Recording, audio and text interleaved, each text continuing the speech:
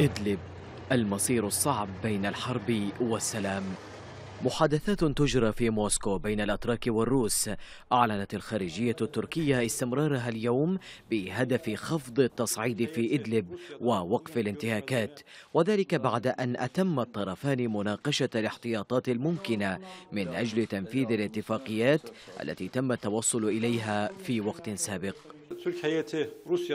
استكمل المندوبون الأتراك في روسيا محادثاتهم اليوم. وفقا للمعلومات الواردة إلينا ستستمر المحادثات. ففي الأيام الأخيرة كانت هناك العديد من التصريحات المتحيزة من روسيا تتهم تركيا. بعض هذه التصريحات رسمية والبعض الآخر يتم نشره من خلال وسائل الإعلام. تركيا واستمرارا في نقاطها العسكرية. شرعت بحسب المرصد السوري بإقامة ثلاث نقاط عسكرية جديدة في إدلب.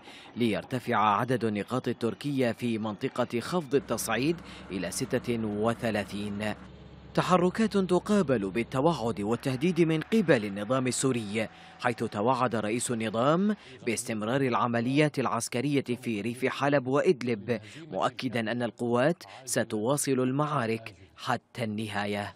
وهو يعني أيضا لا نستكين بل أن نحضر لما هو قادم من المعارك.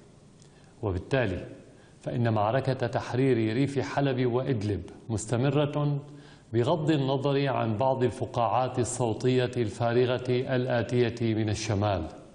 الائتلاف الوطني السوري المعارض من جانبه قال إن التطورات في محافظة حلب كارثية وأن التأخير يعني مضاعفة القتل والتهجير والتدمير من قبل قوات النظام وحليفه الروسي والإيراني. ضبابية في المشهد تتزامن مع تفاقم الوضع الإنساني.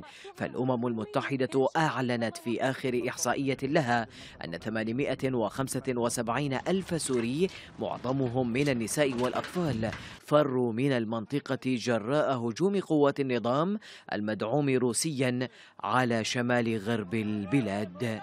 الحسن الحدادي العربية.